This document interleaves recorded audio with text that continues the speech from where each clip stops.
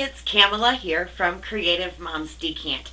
So today I want to show you a super simple Cricut project that you can even do quickly with your iPad. Let's jump in.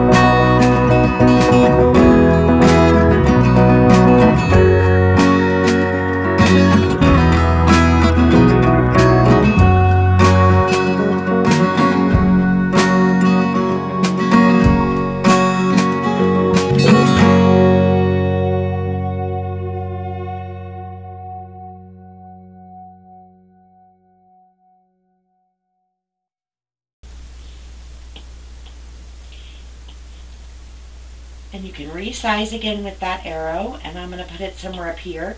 Let's move you over and put a heart over here. So to do that, the first thing you're going to want to do is ungroup your letters. So actions and ungroup. And now I'm going to move the template out of our way because I just want to group the U and I want to group those together and then move my U out of the way and then I'm going to group my somebody and group. You could group it all if you were happy. I decided I may want to move a few more things around. So I went ahead and did that and I'm going to go ahead and group these and put them back in here so I can see how things are going. I'm going to keep these super, super simple and add a heart here and then I'm going to cut this with my Cricut Explorer. So let's grab a heart, images,